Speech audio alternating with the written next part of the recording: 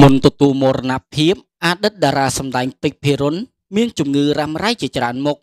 ការចាក់ចេញទៅ របស់អតីតតារាសម្ដែងដ៏ល្បីនាសម័យទសវត្សរ៍ទី80និង90លោកពេជ្រភិរុនកាលពីថ្ងៃទី26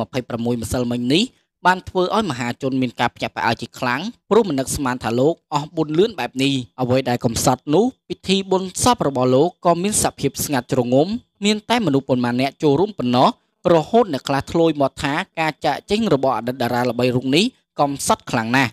ក្នុងនោះក៏មានអ្នកខ្លះចង់ដឹងដែរថាតើអតីតតារាសម្ដែងនិងជាអ្នកច្នៃម៉ូដសម្លៀកបំពាក់រូបនេះមានជំងឺអ្វីពេលនេះសពរបស់អតីតតារាសម្ដែងវ័យ70ឆ្នាំពេជ្រភិរុនបានបូជារួចរាល់យ៉ាងកំសត់នៅវត្តទូរិជានៅក្នុងថ្ងៃដែលលោកបានទទួលមរណភាពក្រោមការជូនដំណើរពីសំណាក់កូនស្រីលោក លោកអែមរៀមសាច់ញាតិរួមនឹងគុណសិស្សកាត់ដេររបស់លោកតែប៉ុន្មានអ្នកប៉ុណ្ណោះក្នុងនោះគេមិនបានឃើញវត្តមានអ្នកសិល្បៈដែលធ្លាប់សម្ដែងរឿងកន្លងមកជាមួយលោកចូលរួមជូនដំណើរចុងក្រោយឡើយមួយវិញទៀតពិធីរៀបចំបុណ្យសពហាក់មានសភាពខ្សត់ខ្សោយមិនស័ក្តិសមជាមួយនឹងគេឈ្មោះលោកនាពេលកន្លងមកនោះទេ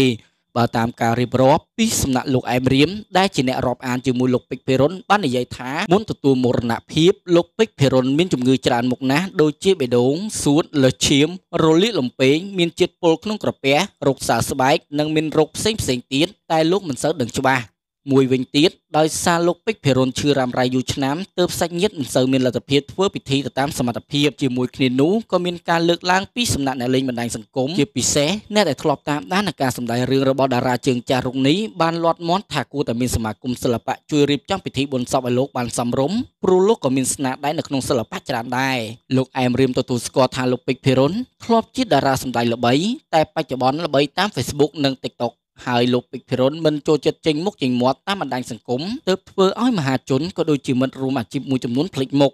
ណាមួយគាត់ក៏ចែកឋានចំបរិបពិធីបុណ្យអុំទូកថែមទៀត